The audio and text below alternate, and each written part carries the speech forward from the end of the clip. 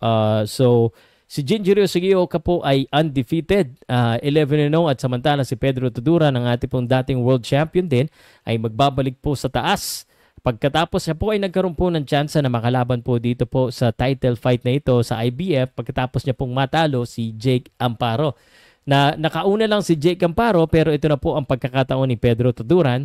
So kaya kung mapapansin niyo po ang huli pong nakalaban ni Jinjiro Shigioka ay si Jake Amparo back in March 31, 2024 this year po. At uh, bago man yan ay nakalaban po ni Jinjiro Shigioka si Valladares si Rene Marcuarto at uh, si Valladares uli. At ito pong Jinjiro Shigioka talaga medyo sa akin palagay ay napakagaling din. Ano, yung record niya ay konti lamang pero iba po talaga ang mga hapon ngayon.